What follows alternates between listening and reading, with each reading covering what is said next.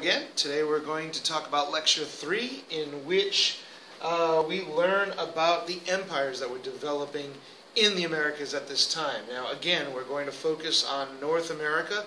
There's a lot of stuff going on down in South America, um, but we're not going to get into it right now.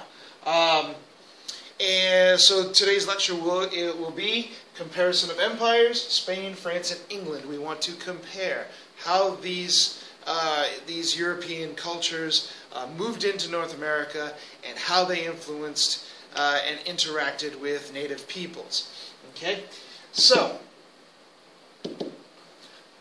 again, we start with the essential question. Now, I know somebody uh, in class the other day uh, asked why is it that our essential questions are never actually questions, but rather statements?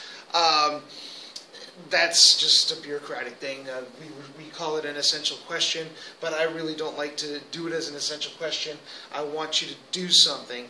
I don't necessarily want you to answer something. So I write it as a statement, but it satisfies the same requirement. Anyway, in this case, um, the essential question or the essential statement is uh, you, we, we want to compare and contrast the different goals and strategies used by the English, French, and Spanish in their interactions with and or conquest of North Americans. Alrighty? So if we're going to take a look at this, then what we want to do, anytime that you're asked to analyze something, uh, this is really, really important with regard to your AP um, essays that you're going to do. You're going to be asked to analyze things. Now, the AP is going to tell you uh, the variables to analyze. But you may very well be asked by a future professor, uh, you know, to analyze a particular issue. Then when you do that, you're going to have to make uh, decisions as to what exactly it is that you're going to analyze. We could be analyzing an awful lot of things with regard to these uh, North American empires, these North American European empires. So I want to break it down a little bit. My goal is to analyze the, uh, the goals of these empires, the goals of Spain, France, and England in uh, colonizing North America, um, how they interacted with the um, with the people of North America, and I'm going to focus on two ideas: uh, the idea of uh, empires of inclusion and exclusion. We'll talk about what that means in just a moment, and also you know, we're going to discuss some of the consequences of these interactions. So let's take taking a look at the map here. Oops, let's move this out of the way. I don't like that. All right, so taking a look at the map here, again, focusing on North America. Um, a lot of stuff going on down here. And also, you'll notice if you take a look at the legend here in the uh, in the bottom left, um, there were some pretty powerful uh, groups that were colonizing in North America and in, in South America at this time. Uh, for our purposes, I, we don't really have the time uh, to go into all of the different cultures and talk about them, but I do want to talk about the British, of course, because they are the most, they're the, culturally the, uh, the group that most influenced American history, the French, and, of course, the Spanish, who, as you can see from the, um, from the map, had the largest claim in, uh, in the Americas. And in fact, for a while, Spain was the largest empire in the world. Um, so let's start off looking at Spain. Uh, things got pretty hectic. Of course, uh, Spain uh, and Portugal were the leaders of this uh, of this exploration in the 15th century and early 16th century. And, um, and it was getting kind of hectic. Uh, the, the Portuguese had, had figured out how to sail their caravels around uh, the Horn of Africa. Uh, you probably learned about that in, in AP World History. Uh, and they were taking a lead in global trade. Uh, Spain, because of Columbus, uh, were making a vast headway in the Americas. And, um, and of course, Portugal wanted a piece of the pie. So, uh, so Spain and Portugal ended up competing in this competition, got pretty heated, uh, at which point the Pope is just going to intervene and say, hey, look, we can't compete um, with each other. Two Catholic countries. We're having a hard enough time as it is. Um, we can't be fighting each other. So here's what we're going to do.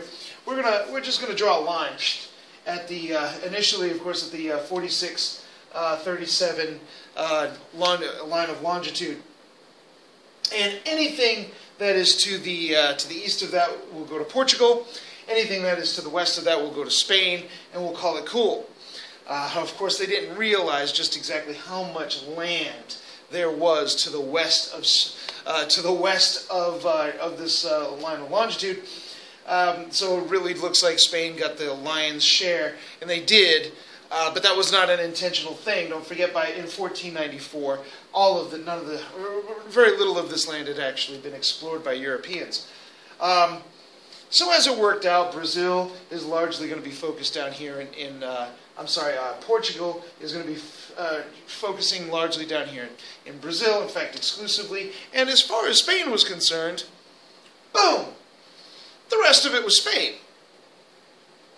So, of course, some other European countries had some problems with that and uh, didn't necessarily follow the Spanish uh, lead here. Um, now, Spain, Spain's goals were fairly simple. We want gold. Uh, we want silver. We want things of value. Uh, they heard rumors of, uh, of El Dorado, these cities of gold. And, um, so, uh, so they wanted to find those and take those. Um, so conquest was the issue. We see this uh, in uh, in Columbus's writings as well, in which he's looking around at the at the uh, the Taino people, the Arawaks, uh, whom he's encountered, and he's saying, "Hey, wow, these people are really um, innocent and nice and friendly and outgoing and giving." Um, therefore, it would be really easy to conquer them and enslave them and take all of their stuff. Um, and that's exactly what the Spanish pretty much set out to do. Uh, so one goal was pretty much conquest. We're going to conquer and we're going to take your gold. Of course, they didn't find as much gold as they wanted. Yeah, they found some gold in, in, in uh, Peru. Um, they found silver in Mexico. But ultimately, uh, what they're going to have to deal with is, look, most of the, uh, the wealth to be gained in these areas is going to be the result of farming. Um, so over time, they're going to start the farming process. Another goal is, and this was almost universal uh, among all of these empires, is religious goals. Religion being a driving force of empire during this time. In this case, in the case of Spain, uh, the goal was to convert as many of these heathen natives uh, as they possibly could. These were people who had never been introduced to Jesus, uh, and therefore they, they, they were probably going to go to hell. So, uh, so what we got to do we got to save these these uh, poor, uh, you know, damned souls, if you will. Um, so it was um, it was largely Franciscan Franciscan monks, Franciscan missionaries who uh, traveled with the Spanish, with the Spanish conquistadors, uh, and established missions, well, the Spanish mission system, all throughout the Spanish uh, the Spanish colonies, and dedicated themselves to converting the uh, converting the native peoples oftentimes against their will, um, oftentimes by, by force um, and coercion and, in, in, in, other forms of coercion. Now, um, this was a very brutal thing. I mean, we're going to conquer and we're going to convert people against their will to a religion yeah, they're not really all that interested in necessarily. So, um, and despite this, this is called uh, an empire of inclusion. And what that means is, as this empire moves into uh, other lands, the people who are already living in those lands are going to be incorporated into the empire. They're going to become part of the empire. Um, and in fact, the, the Spanish are going to create kind of a feudal system um, called encomienda, uh, in which the uh, lords in Spain will actually be given rights. Uh, they'll purchase rights to lands in the New World, and any of those people on those lands are, in essence, serfs of the land, to, to a greater degree, actually property, to a certain extent, of these lords, these Spanish lords moving into, the, into these territories. Um, and despite this, uh, you know, this is inclusion. It's not a nice inclusion, but it's inclusion. Um, and, uh, and of course, the, the ideal here was that the lords, uh, the, um, the uh, lords would supervise and protect and convert the, uh, the natives, uh, provide them protection in this world as well as the next. Uh, on the other hand, in return, the natives would give them their labor, uh, and they would farm their fields and they would work their mines. Um, so this was presented or sold as a mutual relationship. Not so much. The natives really had no desire to farm for uh, foreign uh, landowners, and they certainly didn't want to work in the mines. I mean, of all of the hellish places to live uh, and to work, the Spanish mines were, were among the worst. Uh, and, of course, in a situation in which we have these power discrepancies, um, in which you have a powerful lord and a powerless peasant or laborer or worker or serf, uh, you're going to have exploitation of that power. Um, so, what we would refer to as the biological assimilation, people of different cultures coming together to make babies.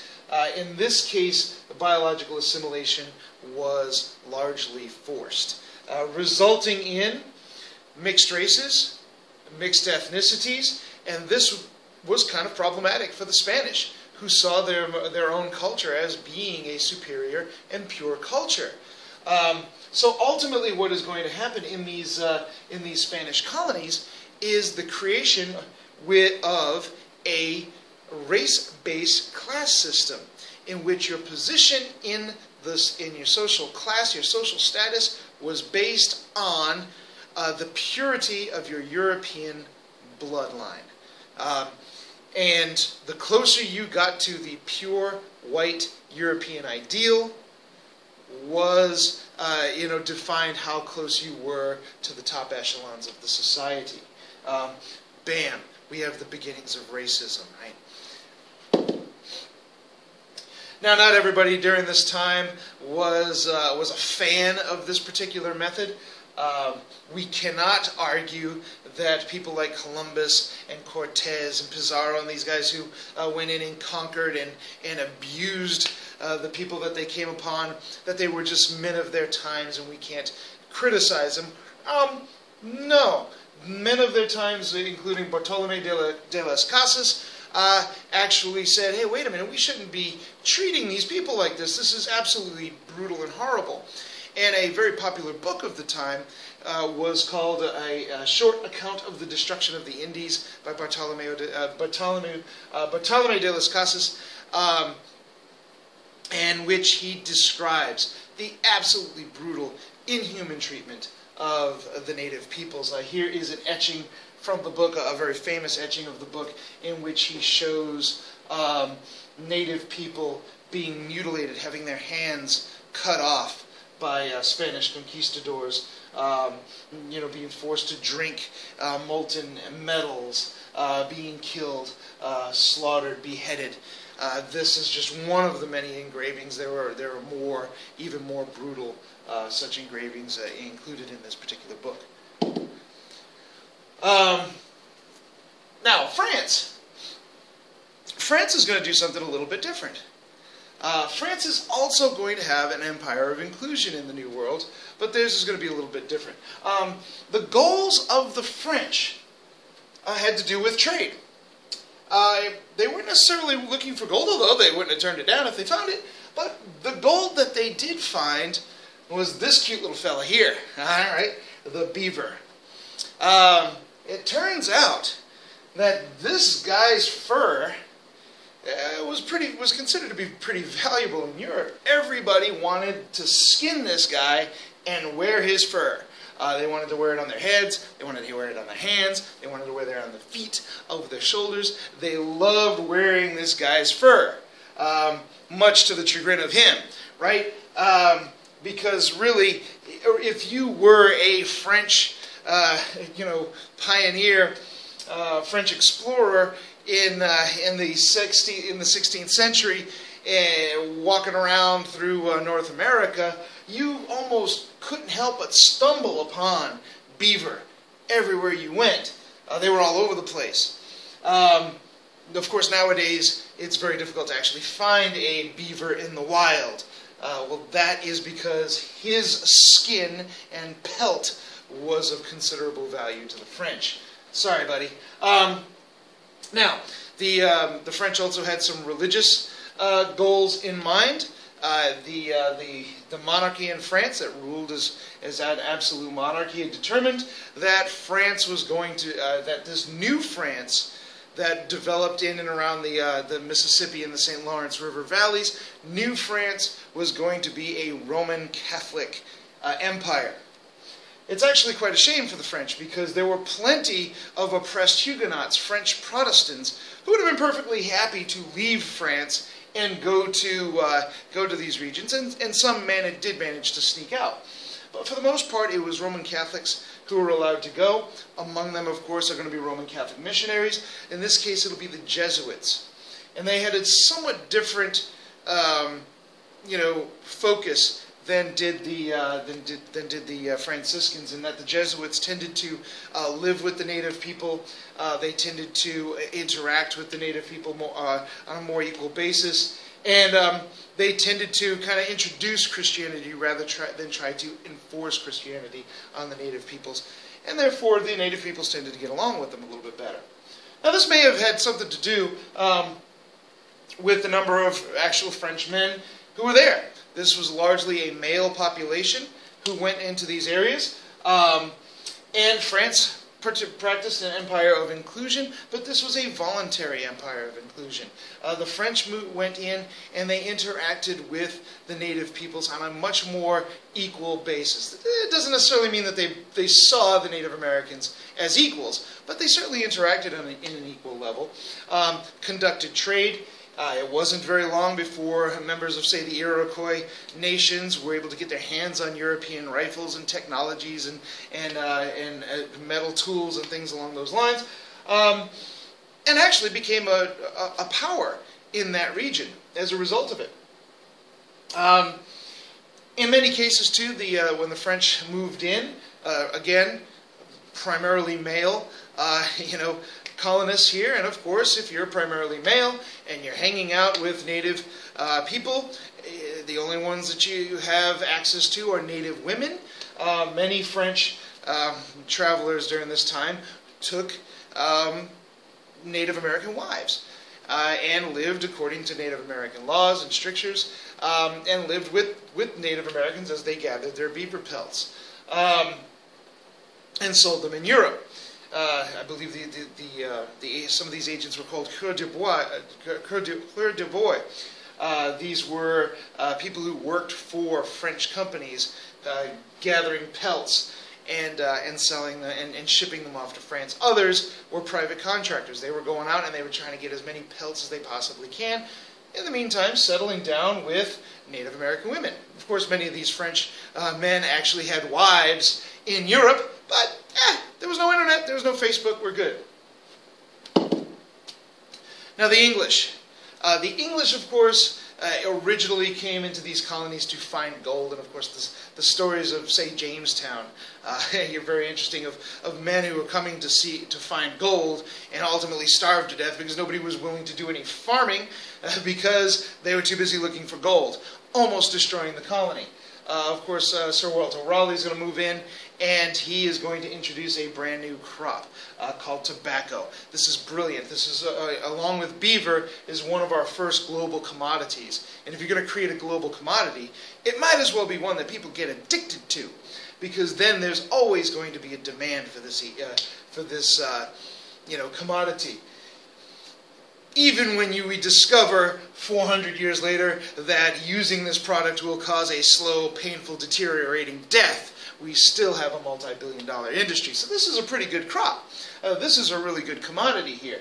Uh, so, uh, so a lot of um, uh, English uh, travelers will come into the Americas and they will uh, set up uh, tobacco farms where they can.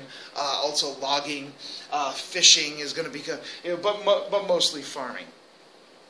Now, England also had some religious, religious issues, some religious goals involved. Unlike the French, who would have been well served had they just sent, allowed their, their Protestants, their Huguenots, to come to the Americas, um, but didn't. Uh, the English, in fact, did. They said, hey, look, if you uh, have religious beliefs that are, uh, that are contrary to, to what we're doing here in England, feel free to get out. And, uh, and many did. Uh, Puritans and separatists we'll talk about later on, Quakers, even Roman Catholics in, uh, in England made their way to the, uh, to the Americas for the sake of establishing their own, uh, their own societies based on their own beliefs. Also, the English uh, among this, this group were pioneers of investment, the joint stock company, uh, the, uh, this idea of people buying into an enterprise uh, and then sharing the profits from that enterprise and consequently sharing the risks, making it less, uh, less likely to fail. So even though many of the English colonies at first failed miserably, um, you know, even Jamestown uh, almost became was almost a failure from the beginning. Since uh, since the uh, the profits were kind of spread out and the losses were spread out, uh, people were willing to continue to invest. Um, so these joint stock companies, many of these joint stock companies, are going to become global, global corporations. Um, so, uh, and again, we'll touch on that some of that later on.